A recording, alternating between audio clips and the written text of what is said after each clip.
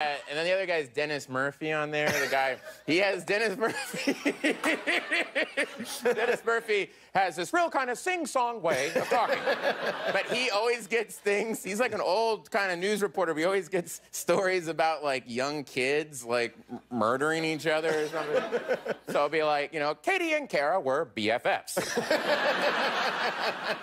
he goes, they had just bought the new Future album that had just dropped, and they were smoking Kush and twerking, like just trying to fit in. He's like, their LOLs quickly turned to WTFs.